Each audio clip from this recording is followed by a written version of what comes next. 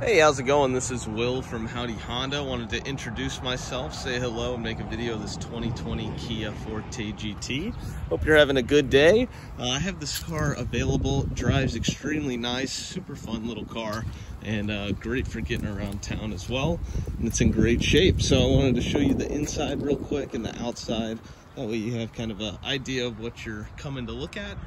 But very fun. I've driven it. Sounds pretty good as well.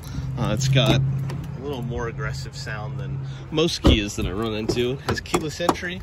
You do have these nice seats. Interior is in great condition. You got a big screen here. Starts right up. We got 57,000 miles on it. And it is all set and ready for you. Even got these cool little paddle shifters here. So give me a call or a text. I'd love to show it to you in person and hope to see you soon. Bye.